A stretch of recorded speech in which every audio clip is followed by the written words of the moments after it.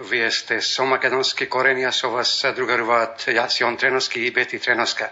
Почитувани слушатели, како и што ви најавивме, наш гостин во денешнава емисија е господинот Антонио Милошевски, пратеник во Македонското собрание, од редовите на ВМРО ДПМН и поранешен министер за надворешни работи, кого веќе месечини го имаме на телефонската линија. Господин Милошевски, ви благодариме што не удостоивте да ни бидете гости на македонски корени. Како сте со здравјето и дали се слушаме? Благодарам многу за поканата. Добар сум, ве поздравувам и вас, ви пожелувам секое добро и многу добро ја слушам повелете. Денешно наше интервју би сакале да го започнеме со она што се случи пред три дена, а тоа е Уставниот суд на својата седница ја отфрли иницијативата за запирање на референдумот. Каков е вашиот став за таа одлука и дали Уставниот суд може би работи по налог на премиерот Зоран Заев и странските режисери? Видете, има две постапки кај Уставниот суд. Едната е да прифати иницијатива за расправа за содржината на нелегално распишаниот референдум и втората да утврди дали распишаниот референдум е уставен и а, ги исполнува сите норми. Мислам дека самиот чин што тие ја отфрлија иницијативата за да не ја разгледуваат, покажува дека уставните суди беа целосно свесни дека доколку таа иницијатива отпочнеше да се разгледува, неминовно ќе доведеше до заклучок дека референдумот е распишен неуставно. Бидејќи и самите луѓе кои што не се правници, ако го прочитаат уставот, ќе увидат дека секој еден референдум во кој што се споменува за членување во меѓународна организација или сојуз со други држави, како што е Европската Унија и НАТО, мора, според Уставот, да биде задолжителен. Овој референдум е консултативен и со самото тоа е неуставен. Затоа ценам дека Уставниот суд се наоѓа под нечив притисок, најверојатно владин, за да не одлучува според Уставот. Дали а, имате сознание дали е го добија решението овие кои што беа поднесители на ваквите представки или се уште решение нема, само од она сообщение кој што излезе во јавноста? Не сум информиран за, за деталите, но веројатно и тоа ќе се случи изготвување на решението, но она што гледам кај луѓето и кај граѓаните што кружи после ваквото, да речем, однесување на Уставниот суд и деградирање на Уставот кој што треба да го заштитуваат, кај луѓето се зголемува а, отпорот, се зголемува мотивацијата ако веќе институциите се блокирани, ако институциите се узурпирани и под притисок од власта, тогаш граѓаните знаат дека тие се тие што можем на еден демократски, легитимен начин, со негласање, со бойкотирање, да испратат една силна порака до власта и референдумот да биде неуспешен, а со самото тоа сите овие неуставни действија да не успеат да се реализираат. И затоа ценам дека ваквата одлука на Уставниот суд, иако е спротивна на законските норми, сепак ќе мотивира многу повеќе луѓе да не излезат на гласање и со не гласање како нивно демократско право, со бойкотирање да го направат овој референдум неуспешен, а со тоа да го заштитат и уставот и достоинството на Македонија. Не знам колку е точно оваа информација, меѓутоа дознаваме да дека ДИК е донел а, одлука партиите да не можат да ги наблюдуваат гласачките места, туку само невладени организации кои пак а, вакви невладени организации земаат пари од разноразни фондови. А исто така и отворено агитираат и го канат народот да ка треба да излезат на гласење и да гласат за договорот, а со тоа и за промена на нашето историско име. Во вака поставен процес, дали можете да ни кажете на кој начин тие набљудувачи ќе бидат неутрални за да можеме да им веруваме? Моето мислење е дека набљудувачите во секој случај ќе треба најголем дел од задачата да извршат самите членови на избирачките одбори кои што се дел од администрацијата и кои што се номинирани да бидат дел од овој процес на државната изборна комисија. Се надевам дека тоа ќе го направат на ниво на задачата, но истовремено сум загрижен бидејќи има одредени дојави и по медиумите дека во одредени избирачки места можно е, многу веројатно е можно да се случи и полнење на избирачки кутии, а за тоа да не се дозволи на никого да даде било каков приговор. Такви работи во овие изминати 27 години од време на време се случувале и мислам дека во тој контекст може да се очекува фалсификат, односно создавање на бројки кои што не соодветствуваат со реалната излезеност на граѓани на референдумот. Но ќе се забележи, нема да остане незабележано, бидејќи сите бројки ќе може да се споредат со предходните локални и предходните парламентарни избори. И не може во една општина, без разлика дали е тоа Арачиново или Тетово или Боговиње или Теарци или Липково, ако за локалните избори излегле 47% лица на гласање, запишани избирачи, доколку на референдумот се забележи дека тој процент сега е 60, 70 или 80, очигледно е дека те станува збор за фалсификат. Но тоа луѓето и граѓаните во Македонија мислам дека се доволно зрели да го препознаат и со самото тоа ќе се нанесе уште една дамка на референдумот и ќе се забележи дека институционалното населство на власта има само една цел не да ја спаси Република Македонија, туку со туркањето на овој референдум и со понижувачкиот договор склучен помеѓу Димитров и Коцијас да спаси кариерата на Зоран Заев. Вие напомнавте дека кога на локалните избори излегле 40 или 60% не може повеќе. Ми тоа дознаваме да дека деновиве стотици албанци дојдени од Косово чекаат за да земат државјанство. Не знам и ова да информација дали е точна или само е шпекулација. Не знам, не сум информиран за тоа, немам некои подробни детали, но она што го знам, бидејќи и самиот доаѓам од Кичево и таму се а, луѓето од каде што сум добил основна поддршка, и градот има структура на, на население од жителите кои што се присутни, од прилика некаде се 65% македонци, може би 25% се албанци, останатите проценти се од други етнички заедници. Тоа што го знам е дека интересот на албанската диаспора, на луѓето кои што се албанци од Кичева, живеат во Швајцарија, во Австрија, Германија или во Америка, спореден со било кои локални или парламентарни избори на назад, е многу опаднат и нема, речиси, нема интерес на тие луѓе да доаѓаат да полнат кутии да гласаат за референдумот, затоа што и тие увидуваат дека нивните политички представници во Македонското собрание, во владата и во другите институции работат за лични интереси, кариери, се занимаваат со некакви е, сомнителни, коруптивни работи и сметам дека и кај нив опаѓа интересот со излегување на гласање да даваат поддршка на коалицијата која што се покажа дека е истрошена и нема капацитет да одговори на реалните потреби на реалниот човек во Македонија. Без разлика дали е тоа здравство, дали е вработување, дали се странски инвестиции, или е економија, или е култура, или е правосудство, се гледа дека власта преку овој договор и преку овој референдум, поставувајќи го прашањето и ширејќи пропаганда дека тоа игра на се или ништо за Македонија, сака да ја покрие својата неспособност на луѓето да има возможи подобро здравство, подобро образование и подобра економија во целата држава, а преку овој референдум и пропаганда за него да ги зацкрие коруптивните афери кои што на големо веќе се дознаваат од медиумите во Македонија. Слушајќи оваа информација, а покрај оние многу лоши што се можам да ставам во позитивна и добра информација што албанскиот интерес на албанците е опаднат, а тоа ќе оди во прилог на оние кои што застанати се за да се бойкотират овој референдум, а со тоа да спречат власта во намерата да го сменат името на а, нашата а, држава. А, државната изборна комисија иначе пред некој ден излезе со став дека референдумот не е за членство на НАТО и Европската Унија и каже дека неопходни се два услови за успешен референдум, а тоа се половина од запишаните избирачи плюс еден да излезат на гласање и вториот услов и половина од излезените плюс еден од да гласаат за.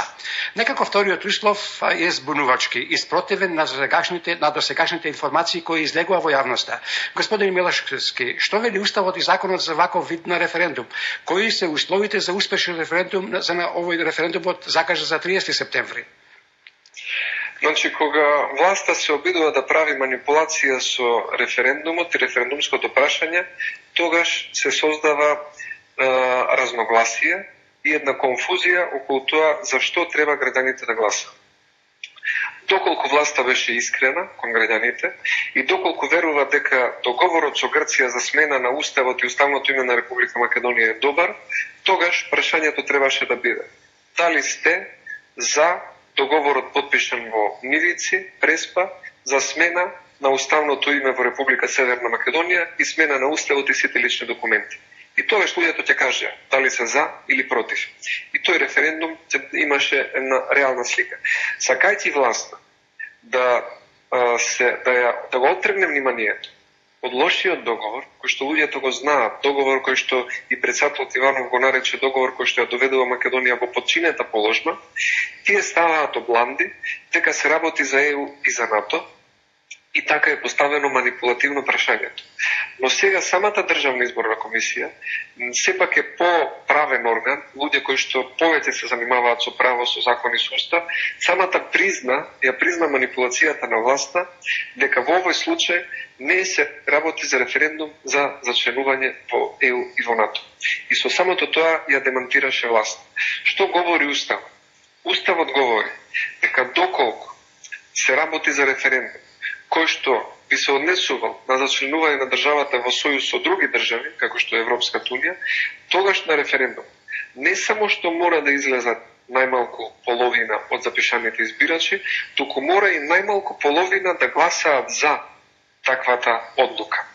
Затоа, знаејќи дека не може да го достигнат тој број, знаејќи дека референдумот нема да ги исполни уставните и законските бројки на излезеност, Државната изборна комисија го отвори ова прашање и кажува дека не се работи за референдум за ЕУ и за НАТО, туку се работи за референдум за договорот со Грција за смена на уставното име.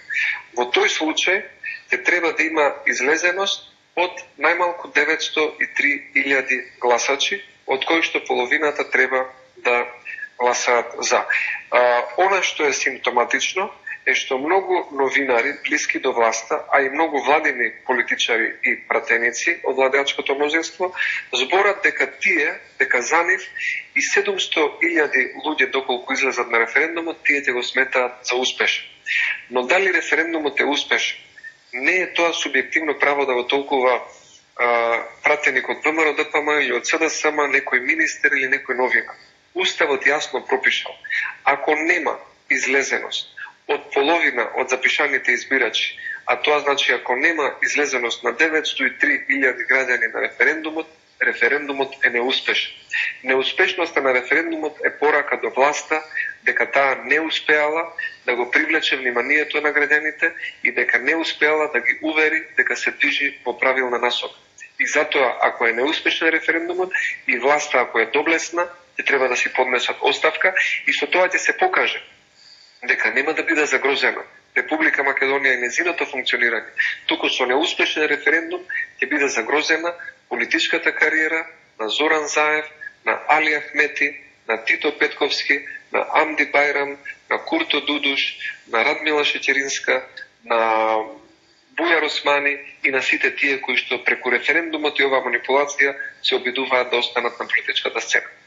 Пред некој ден професорката Ванковска имаше една колумна во која обелодени дека веќе во собранието има двотретинско мнозинство, бидејќи дел од пратениците на ВМРО ДПМН прифатиле да гласаат за промена на уставот. Дали оваа информација и оли овие сознанија а, се точни?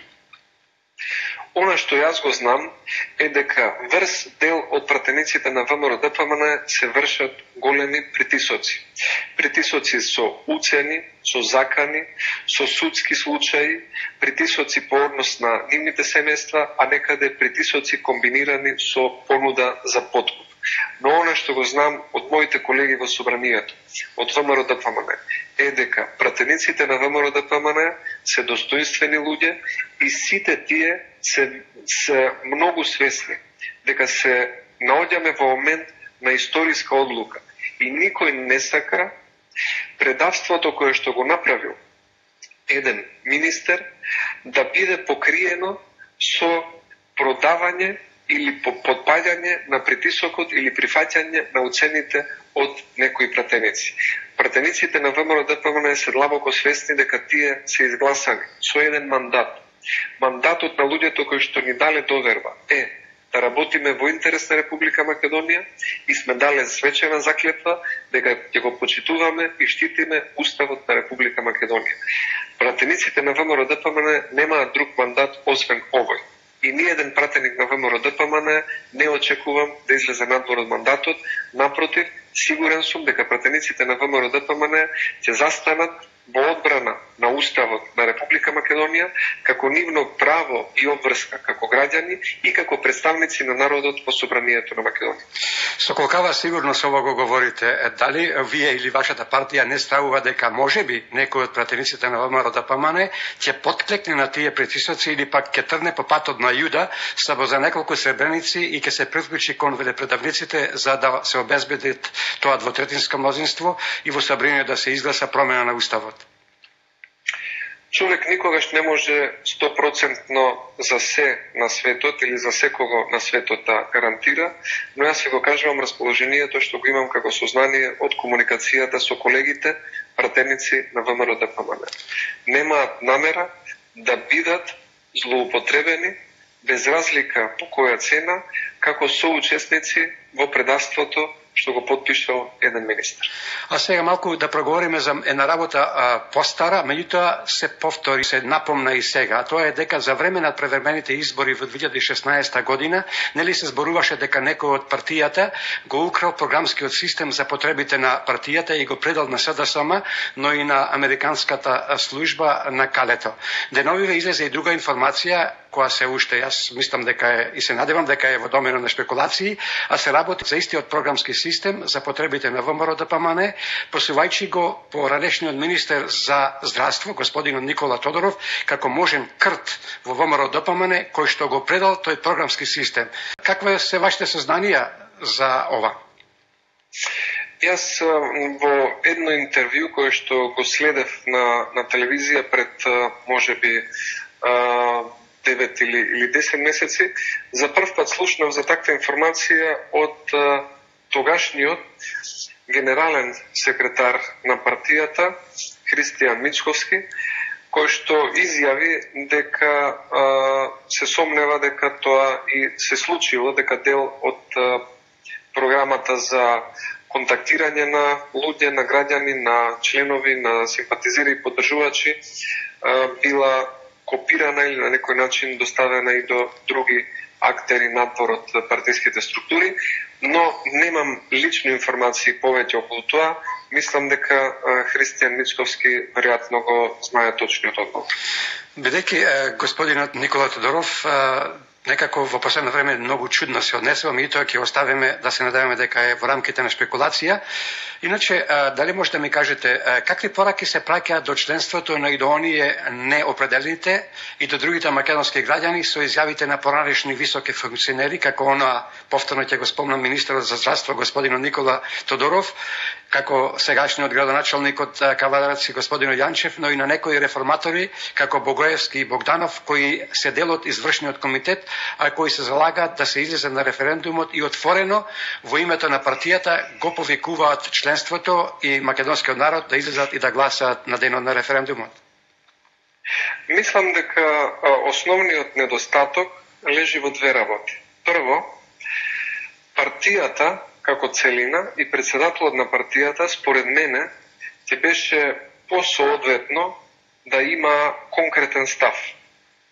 Тогаш нема да имаше а, недоумици дали некој друг, трет или четврт ќе изгради поинаков став од заедничкиот, од конкретниот став на партиското раководство. Така што тоа што партиското раководство и председателот на партијата не застанат сврсто за еден став, според мене е одреден недостаток. Втората работа што секој функционер без разлика, сегашен, поранешен или поистакнат деец на ВМРО ДПМН, треба да го знае е следното. Дека представниците, повисоките представници на ВМРО ДПМН се тие кои што треба да ја послушаат волјата на членството, а не обратно. Не треба членството јас да му ја наметнувам мојата волја. И со целосна сигурност ви кажувам, имаше цело лето акција на обиколка по местни општински комитети, села и градови, секаде каде да што имаме наши поддржувачи и структури. 96-7% од членовите и симпатизерите на ВМРО ДПМН во сите тие посети од врата на врата, од дом во дом, има една единствена порака, дека овој наместен референдум овој неуставен референдум, овој процес кој што е манипулативен, има за цел да ја зацкрие неспособноста на владата и нивното предавство, најдобро е да се бойкотира. Тоа е желбата на членството. И секој еден човек кој што од членството барал поддршка за да биде градоначалник, за да биде пратеник, за да биде министр, за да биде партиски истакнат првенец, треба да свати дека оваа порака на членството треба да се почитува и истата да се поддржи и со самите наши действија да кажеме дека ние и членството сме едно исто и дека заедно ќе го бойкотираме овој неуставен референдум. Вие сте единствениот од пратениците кои уште од самиот почеток се изјаснивте за бойкотирање на истиот, но гледаме дека деновија кон вас се приклучи уште и неколку мина од пратениците. Што се случува со другите пратеници? Од што се плашат да излезат јавно и да кажат дека ќе бойкотираат? Мислам дека на големиот дел од пратениците се свесни дека бойкотот е а, желба на а, граѓаните кои што не гласале. Ние, пратениците во собранието, имаме мандат да действуваме според волјата на луѓето кои што ни дале довербата. Јас кога разговарав и со повеќе колеги, и со колегата Ванковер Манчев од Струмица, и со колегата Трајчо Димков од Штип, и со Емил Димитриев од Пробиштип, и со Магдалена Манаскова од Виница, и со Зоран Илиоски од Битола, и со Билјана Затуровска од Струга, со повеќе од нив и сега не ми текнува на сите за да можам да ги набројам, но гледам едно големо мнозинство имаат разбирање за тоа дека кога демократијата е парализирана, кога институциите се узурпирани од власта и уставот и законите секојдневно се прекршуваат, бойкотот е најдемократската алатка за да може на една ваква власт да се прати порака. И сигурен сум дека огромното мнозинство и од населението и од пратениците, и тоа не само од ВМРО ДПМН, зборам дека огромното мнозинство и од населението кое што не е политички определено, кое што е некој жител на Скопје, некој на Кочани, некој на Гелија, некој на Охрид, знаат дека ова е наместен референдум и сметам дека мнозинството ќе го бойкотира. Но има и такви луѓе кои што се наоѓаат под притисок, вработени се по државна, во државна администрација. Јас знам лично два случаи на професионален војник во армијата на Република Македонија, кој што е во Кичево, и на кого што му се закануваат дека може да му го прекинат договорот или дисциплински да го гонат или да го тормозат и му третираат на работното место, доколку тој и неговото семејство не излезат да гласа, односно доколку тој се одлучи да бойкотира. Исто знаме еден случај на една учителка од основно училиште од Кочани, на која што директорот и се заканувал лично дека доколку не излезе да гласа на денот на референдумот, дека тој ќе се погрижи други учители и наставници да ги добијат незините часови, таа да го изгуби фондот на часови и да остане без работа како технолошки вишок.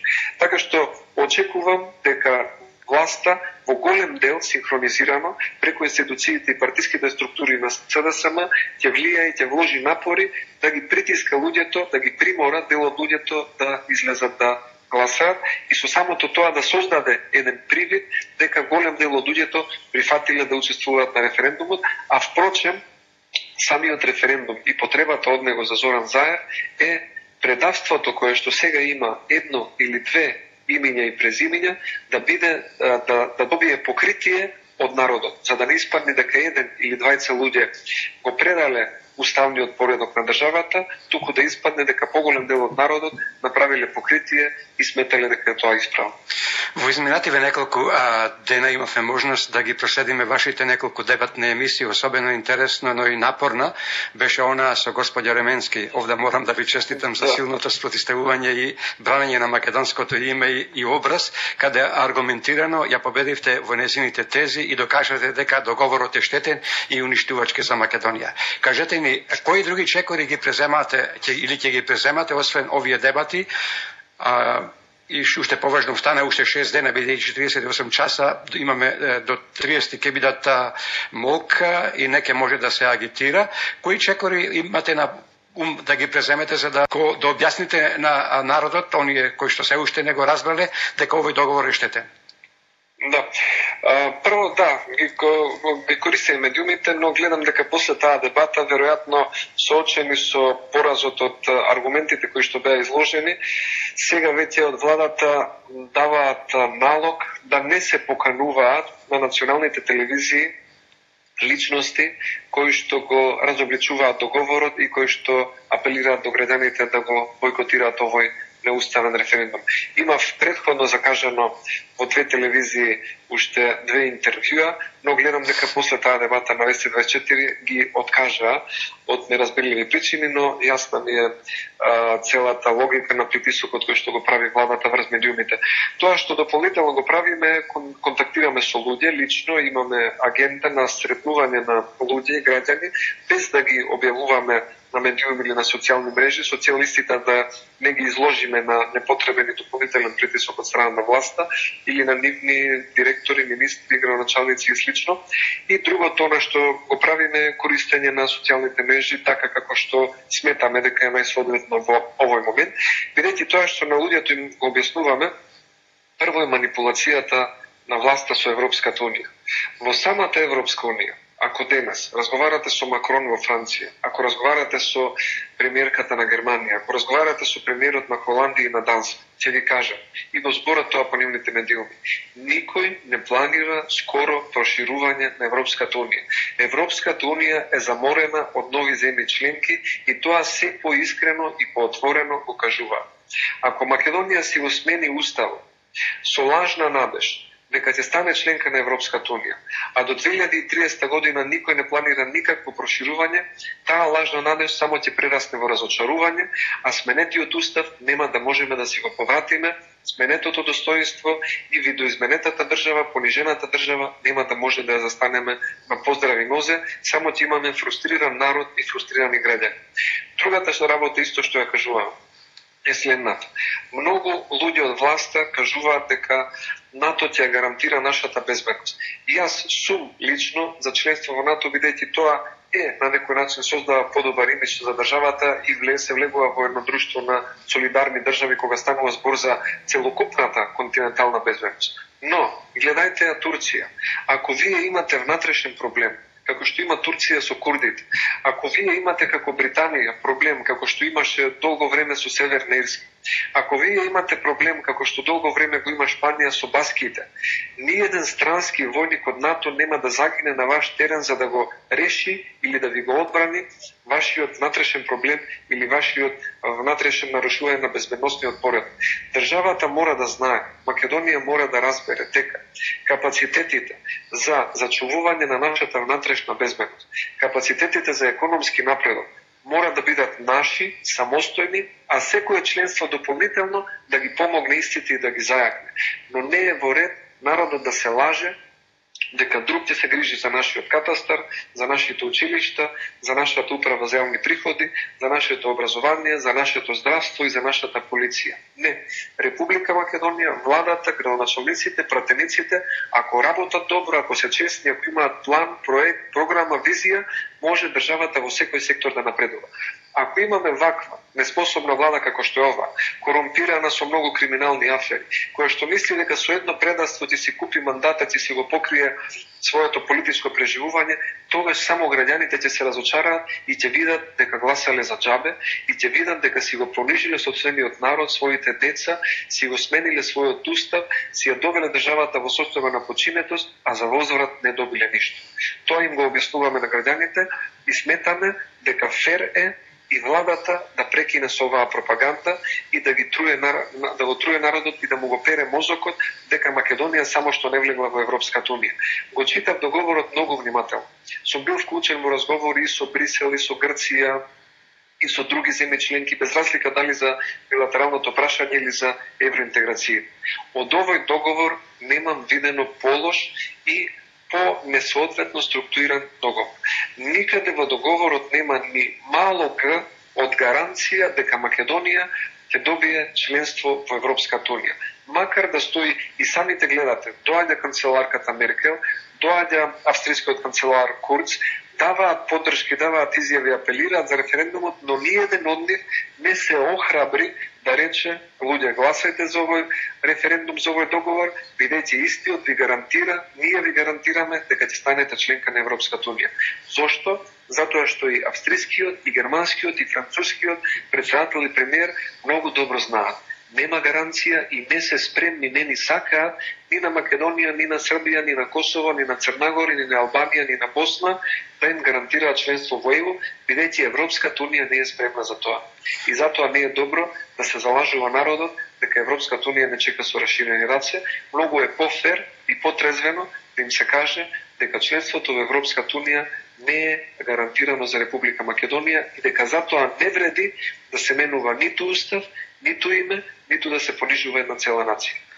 Господин Милошевски, имајќи во предвид заложбата и изјавите во повеќе наврати во минатото од пронешното раководство на ВМРО да ДПМН, а тоа е дека ако се најде прифатливо решение за името, тоа решение ќе се стави на референдум и народот ќе одлучува, односно ќе го има последниот збор и тој збор ќе се почитува. Од она што можеме да го забележиме досега, ВМРО да ДПМН и коалицијата силно се спротиставуваат на договорот со Грција и за никој ама баш за никој од партијата и од коалицијата не е прифатлив бидејќи е уништувачки и понижувачки. Каков е ставот на другите пратеници од ВМРО до помана и коалицијата? Зошто се толку воздржани и од што најповеќе се плашат да го изговорат тој збор бойкот? видете, ние кога сме збореле во минатото за референдум, за можен референдум, никој од владата никој од пратениците, никој и од другото државно раководство, вклучувајќи тука и председатели на државата кои били од други политички а, партии, баш никој не помислувал на договор што ќе значи менување на уставот и внатрешниот поред. Таков договор од старт би бил неуставен. И затоа цениме дека овој договор е неуставен и овој референдум самиот по себе е неуставен и манипулативен и бойкотот на референдумот е алатка што може тоа единствено да го коригира. Однос на сите други пратеници, не можам да зборам по име на сите, но ви кажав, сум разговарал со добар дел од нив, од пратениците на ВМРО ДПМН, и луѓето се многу свесни дека станува збор за една историска, политичка, неуставна манипулација, преку која што власта се обидува да го продолжи својот мандат и да ја покрие својата неспособност на граѓаните да им овозможи подобар живот. И јас сум сигурен и се надевам дека секој во својот круг, во својот град, во својата општина и кај своите гласачи ќе знае на најдобар можен начин како да ги мотивира луѓето, а пред се со личен пример, да останат дома, да си завршат некои побитни работи за нивните семејства и за нивните блиски, отколку да бидат соучесници во еден ваков неуставен, понижувачки и манипулативен референдум. Господин Милошевски, од власта а повеќе пати или во повеќе наврати ве обвинуваат дека сте избегали од собранието кога требаше да се бранат, односно да се дебатира по поднесените амандмани за преспанскиот договор, а кои амандмани ве поднесени од страната на вашата партија. Кое е вашето објаснување, односно одговор за таквите обвинувања?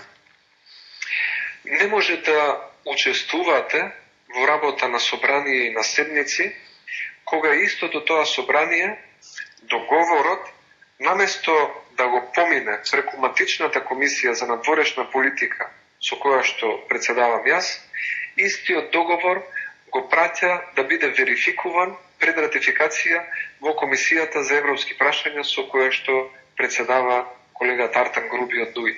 Тоа е грубо прекршување на деловникот. Значи, вие ќе прифатите да учествувате на спортски, фудбалски надпревар, ако знаете дека има фер почитување на правилата.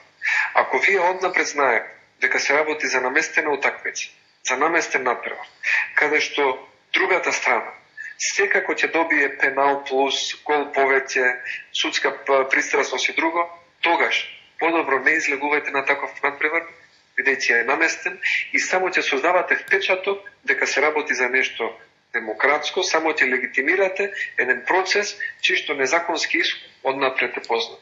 И затоа не сакавме да бидеме дел од таков театар, каде што ќе се глуми дека се дебатира за нешто, а впрочем сите деловнички законски одредби беа прекршени по однос на подпишувањето на овој понижувачки договор. Господин Милошевски, можете ли да ми кажете дали вие во овој момент сте член на, на еден од повисоките тела во партијата и дали присуствувате на било какви консултации пред да се донеси финалниот заклучок на партијата за одлуката во врска со референдумот, односно пораката до членството и граѓаните?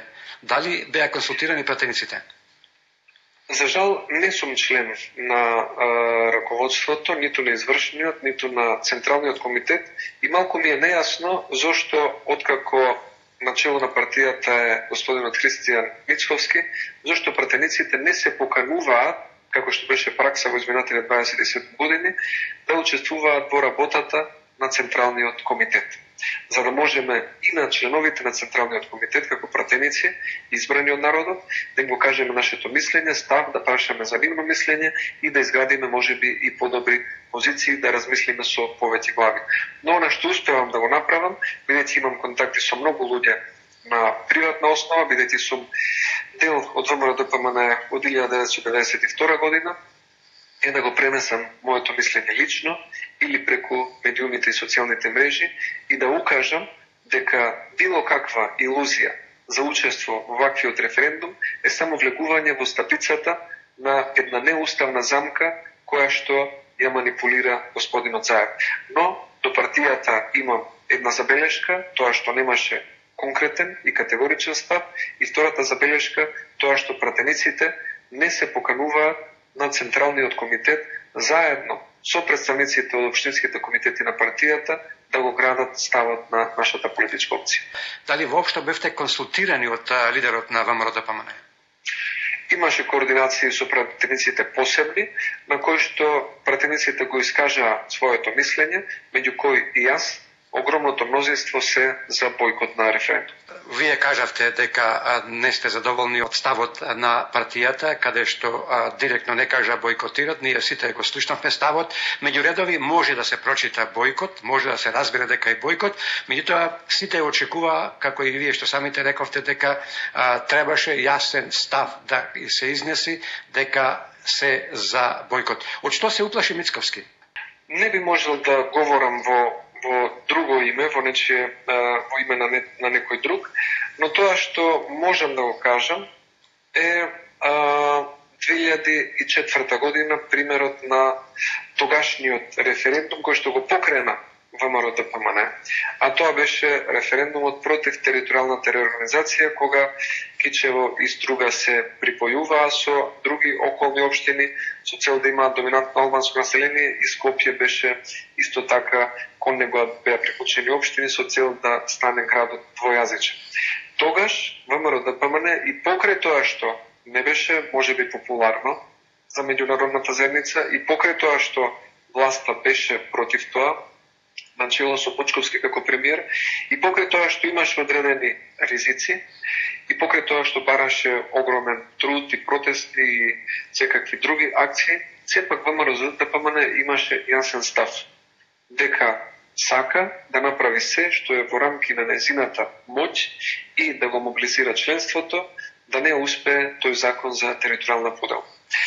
Самото такво действување кај членовите кај луѓето, па и кај неопределените гласачи, остава впечаток дека вие имате чесен, искрен и достоинствен однос кон едно прашање на кое што се противите, а се противат и мнозинството од граѓаните.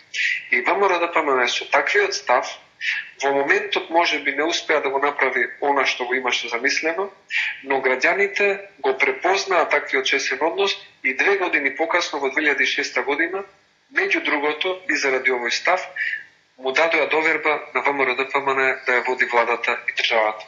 И затоа сметам дека имањето на став е почесен, покоретен однос кон избирачите. Тие знаат со кого имаат работа и кој во какви моменти, кои проценки ги носи и дали е решителен да остане на својата позиција и стојалиште која што му е аргументиран. Затоа ценам дека посебно големите партии, еве да, ајде малите да ги оставиме можеби на страна, има и такви човек партија во Република Македонија, но поголемите, покрупните политички партии во државата правило е, добро е и фере за крупните национални прашања кои што за сега устав, закони или поважни области од живењето да имаат јасно изграден став. Да се надеваме само дека може би ова беше целта на господин Мицковски да му се додвори на меѓународната заедница, а во работното лето, кога што се посетуваат доматинствата, може би говори друго. Ке видиме што ќе донесе денот 30. Се надевам дека едно говори на луѓето, а друго пред јавноста. Не знам колку тоа е добро.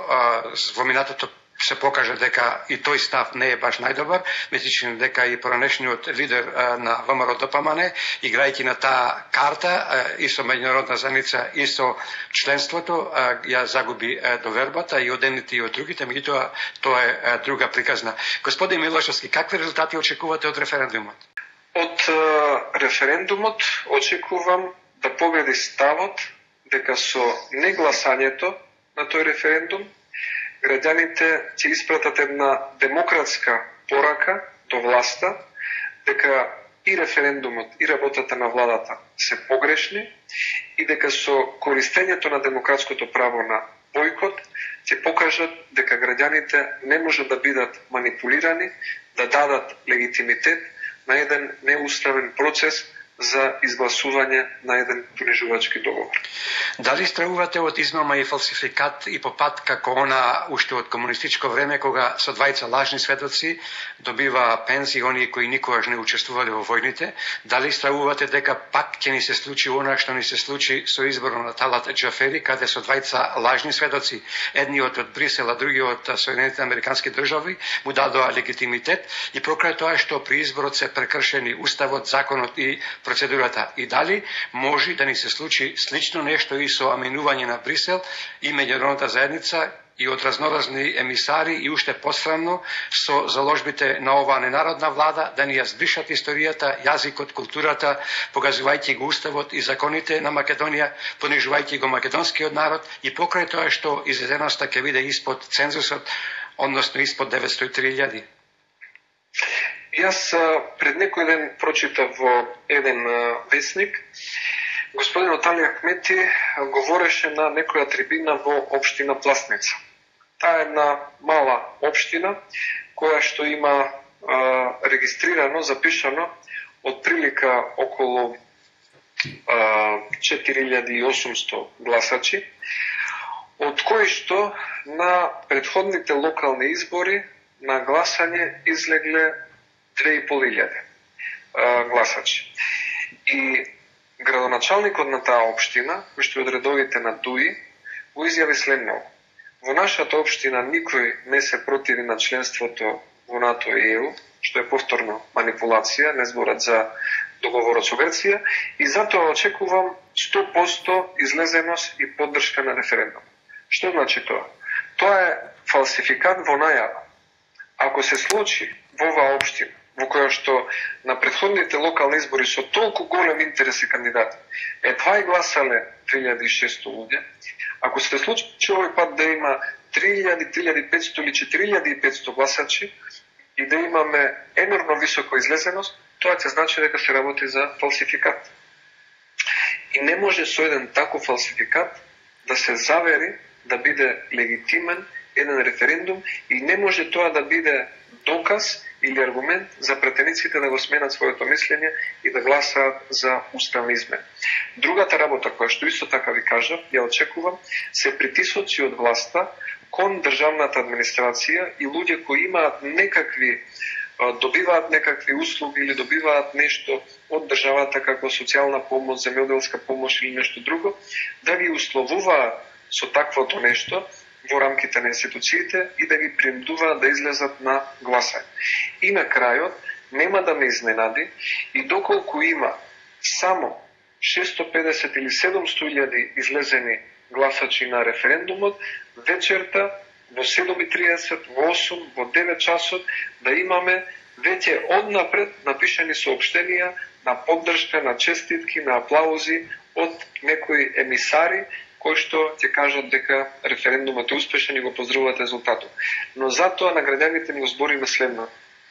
Во 2004 година, кога се организираш референдумот против територијалната поделба на општините, дојде еден британски министер, неговото име беше Дейвид Мекшейн, британски министер за Европа кој што имаше средби со цел државен врв и со опозицијата, излезе пред Собранието на Република Македонија на пресконференција, го извади неговиот часовник, ги вртеше стрелките на назад и кажуваше дека ако се излезе на референдумот против територијална поделба на општините, земјата ќе оди на назад, часовникот ќе се враќа на назад, Македонија ќе оди на назад.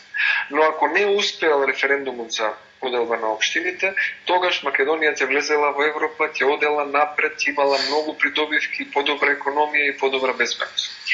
И еве го референдумот во 2004 година не успе. Ниту Македонија стана членка на Европа, ниту сказалките тргнаа на напред, ниту станавме членка на НАТО, ниту се подобри економијата, ниту па видовме некои големи придобивки од тоа што направивме територијална реорганизација на општините. Напротив, во 2012 или 2013 година слушнавме дека тој поранешен министер за Европа, Девид Мекшен, бил осуден во Британија за злоупотреба на пари од парламентарниот буџет во Британија на 6 месеци затвор. Никогаш повеќе не го видов. Тој господин, поранеше министер во Британија, не му е гајле за моите деца, за вашите деца, за вашите роднини.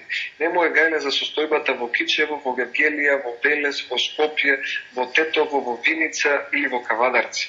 Тие луѓе кои што доаѓаат овде, имаат своји кариери и за нив ќе биде успех во кариерата ако некаде појдат нешто поддржат и се случи нешто во рамките на нивниот личен интерес или во интересот на нивните држави. Но тие луѓе немаат реален интерес за да се грижат за реалните проблеми на луѓето во Република Македонија. И затоа сметам дека граѓаните треба да бидат свесни.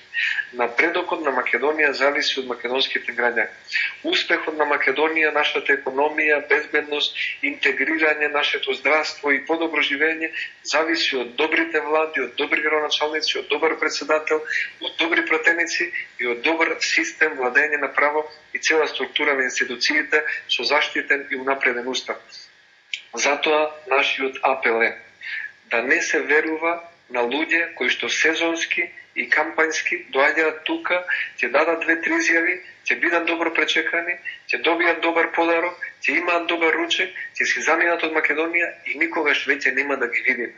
Ние треба да им веруваме на луѓето што ќе ги видиме и утре, кои што со нас ќе бидат и утре, нашите комши, нашите роднини, нашите претеници, нашите представници, нашите пријатели, нашите партиски членови, неопределените граѓаните, кои да е без разлика од која партија, националност или друго, треба да биде свесен дека ние што ќе останеме тука, од нас зависи како Македонија ќе напредува, а не од некој следен Дейвид Мекшейн, кој што ќе дојде ќе ни држи пораки, ќе ни трие сол на глава, ќе ни го покажува часовникот напред или назад, ќе ни ја ветува Европа во 5 минути, а потоа ќе чекаме уште 50 години. Според некои информации, уставните измени во делот на промената на името од Република Македонија во Република Северна Македонија, промената на преамбулата членот 3 и членот 49 веќе биле напишани и тоа е завршена работа. Што е уште позагрижувачки, овие измени биле директно дадени од страна на Грција во вид на non-paper, така што дури и амадманите на Уставот не ги пишува Македонското собрание, како што е редот во постапката која треба да почне после референдумот. Туку веќе ги има напишано, како што реков, грчката влада и ги има доставено и практично која ќе почне тој процес, ако почне, ќе биде само една глума и еден театар дека се прават амадмани кои што веќе се напишани и чија што задржина не ја знаеме и не се објавува во јавноста. Дали ги имате овие информации или дали и овие се спекулации? Оно што го знам јас од дипломатски извори е дека анманманите на Уставот се таен анекс кон договорот кој што е подпишан во Нивици и не се објавува. Аманманите веќе постојат, изготвени се, За нив знае и владата во Атина, и владата во Република Македонија.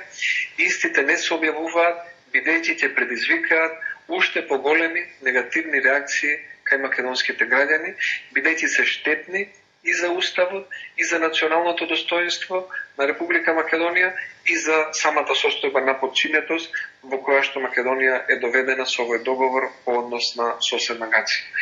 Затоа и самиот премиер Заев пред некој ден кога новинарите го праша за овие амандмани, тој кажа не би сакале да ги покажуваме тие амандмани, затоа што не сакаме непријатно да влијат на граѓаните пред гласањето. Тоа покажува дека предавството не само што е договорено, туку е веќе и запечатено во ковер со испорачани амандмани, бидејќи самиот договор подпишан во Нивици е договор со грчки ракопис. Таму единствениот македонски ракопис е предавничкиот подпис кој што е ставен. Се друго е согласно грчките желби кои што ги имале и ги диктирале по однос на овој договор за смена на името на Република Македонија во Република Северна Македонија, смена на уставот, смена на возачките дозволи, на личните карти, на документи, на пасоши, на ученички книшки индекси, сведителства, изводи од матична книга на родени и се друго што може да замислите како функционира една држава. И затоа ценам дека криењето на овие амандмани е уште еден доказ дека владата е свесна дека доколку ваквите амандмани се покажат, народот уште пореволтирано ќе реагира и уште поголем ќе биде бойкотот. Крењето на ваквите амандмани покажува дека владата не е искрена кон граѓаните. Им збори за ЕУ, а за ЕУ нема ни Е од гаранција во договорот за членство во ЕУ, а ги лаже и им ги крие амандманите со цел да ги манипулира. Владата го подценува граѓанинот, ја подценува интелигенцијата на народот. Но сигурен сум дека ваквото криење на амандмани, ваквото манипулирање и подценување на граѓаните само ќе го зголеми мотивот на луѓето да не излезат на гласање и со бойкот да испратат една демократска порака дека народот е поумен од власта. Господин Милашовски, дали би сакале при крајов сега да не кажете што всушност се случува во, со ВМРО да ДПМН, бидејќи се добива впечаток дека пратениците или пак мнозинството пратеници не се на иста линија со раководството, форматорите вметнати во извршниот комитет делуваат спротивно на ВМРО-вските начала, внатре делува и фракцијата на господинот Филип Петровски. Има ли и други фракции во партијата и дали може во ваков стил како што е сега, партијата да покаже единство за виталните работи? Мислам дека има капацитет да се покаже единство за виталните работи, но истовремено не е тајна дека самата транзиција и самото менување на раководството и одржување на еден конгрес кој што не ги исполнуваше сите, би рекол, норми за да може да биде наречен како обединителен конгрес, сега создава одредени а, действија или одредени околности каде што одредени групации имаат имаат повластен на некој начин статус, иако според мене не го заслужуваат, како што се дел од реформаторите кои што отворено работеа против ВМРО ДПМН за време на претходните парламентарни и локални избори. И затоа ценам дека како човек кој што е начело на партијата, сега би требало одважност, решителност и одлучност да покаже Христијан Мицковски. Тој треба да покаже дека знае да ги менаджира приликите во една партија која што е во опозиција, која што треба добро да се реорганизира и која што треба да ги мобилизира сите своји капацитети за да може да понуди политичка алтернатива на државата. И треба господин Мицковски да покаже дека тој одлучува сам а не дека друг му ги носи одлуките. И да покаже капацитет дека е спремен во одлучувањето да ги вклучи рамноправно и пратениците кои што се непосредно и со големо мнозинство избрани од граѓаните на Република Македонија. Доколку ваквите совети станат дел од неговото действување, сигурен сум дека ќе се зголеми потенцијалот и на ВМРО ДПМН и на опозицијата зашто поскоро нудење на политичка алтернатива на оваа власт која што нема капацитет ниту да ги штити националните интереси, ниту уставот, ниту пак има потенцијал да направи економски напредок или подобри услови за македонското образование, здравство или судство. Дали господин Мицковски има овој капацитет да го направи се тоа што го направавте? Времето ќе покаже. Не би можел да дадам проценка сега, но да се надевам. Господине Милошовски, утре председателот доктор Ѓорѓи Иванов ќе има свое обраќање во седиштето на Обединетите нации. Кои се вашите очекувања и што би требало тој да посвети повеќе пажња во неговиот говор и дали ќе има некакво влијание неговиот говор врз македонските граѓани при донесувањето на нивната одлука дали да излезат на референдумот или не на 30 септември? Председателот Ѓорѓе Иванов е човек кој што со секој изминат месец, со секоја измината година од неговиот мандат ужива се повисок углед и рейтинг кај македонските граѓани. Зошто? Затоа што за разлика од многу други политичари кои што ги менуваат своите ставови според приликите и околностите на нивниот личен или кариерен интерес, тој сепак остана доследен и концизен на својата позиција. А таа е уставен патриотизам. Секој кој што си ја сака државата, тоа кон државата да го изрази преку почитување и заштита на уставот на државата.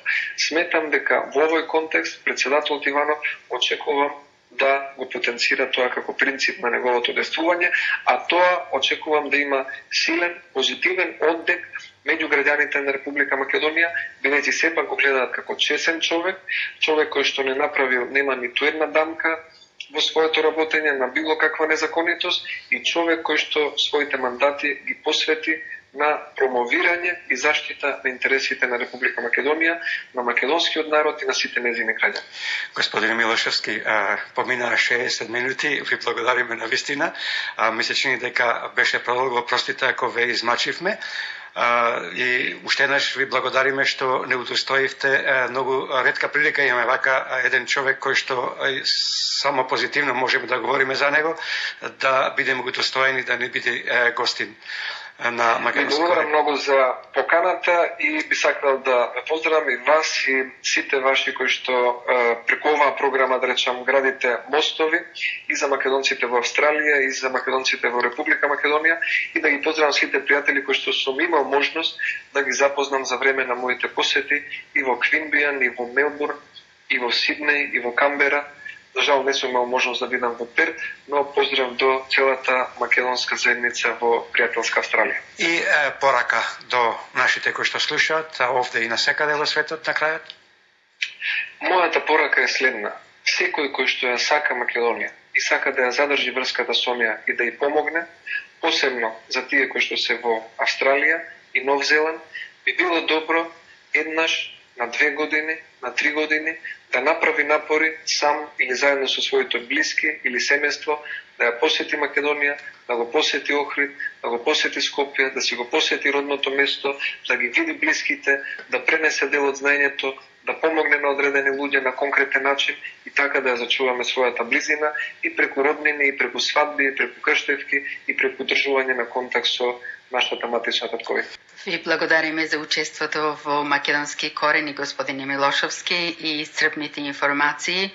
Ве поздравуваме и ви посакуваме најправо здравје на вас и вашата ценета фамилија, напредок на политичка сцена, со намерити како и секогаш ваш цврст став за сочувување на нашата мила и единствена Република Македонија. Почитувани слушатели, веруваме и ова гостување и разговор со господинот Антонио Милошовски пратеник од ВМРО ДПМН и поранешен министер за надворешни работи на Македонија, ве ги зацврсти ставовите околу бойкотирање на престојниот референдум и ги освести под заспаните кои слепо трчаат за своји ситни интереси и краткотрајни потреби, па по секоја цена бевте со намера да излезете и гласате, заборавајки ги важните работи на едно човечко битие, идентитет и постоење зашто закажаниот референдум и политичката состојба во Македонија па убедувањето од сите странски загрижени политичари кои секојдневно се врварат низ Македонија, само со една единствена цел да ве убедат да излезете и гласате за Божем европска иднина, ја игнорираат вистината и вистинското прашање да кажете дали сте за подршка на договорот помеѓу Република Македонија и Република Грција подпишан од министерот Никола Димитров и Никос Коцијас во Нивици Преспа, кој што договор целосно ги уништува македонскиот јазик, македонскиот идентитет, македонската култура, македонската националност на една суверена држава со интегритет и достоинство Република Македонија. Лажно е ветувањето и пораката дека ако Македонија стане европска, ќе донесе подобар живот и светла иднина на граѓаните на Македонија. Бојкот и само бојкот ќе биде одговорот не на закажаниот консултативен референдум за 30 септември. Да се повториме, секој излегување ќе биде еден плюс за манипулација околу референдумот на нив не им е битно како ќе гласате почитувани, туку им е битна бројката од 903.000 гласачи. Оти ако не биде постигнат потребниот цензус на референдумот, како што изјавија предходно Заев и Тала Джафери, во случај на неуспех прашањето ќе оди во раците на институциите. Каква иронија! Никој не им го дал правото да не откажат од исконското ни име Македонија за влез во Европската Унија знаеме треба за да гласаат најмалку 903.000 гласачи, плюс референдумот мора да е задолжителен, а не консултативен. Таква била уставната и законската одредба. Затоа, почитувани македонци, и овој пат Издржете и не дозволувајте никој да ви го мени мислењето, ниту став, ниту пари. Одлучувајте со љубовта кон татковината на 30 септември. Одберете бојкот за референдумот за да обстоиме како македонци, како што не чувале генерациите од минатото, кои трпеле тортури, крвави војни, но не подклекнале на предавството како сегашната самоизбрана влада за своји лични интереси со единствена цел само да си ја спасат собствената суета, па не е важно како ќе ги нарекуваат и како ќе помине Македонија во оваа историска одлука за обстојување.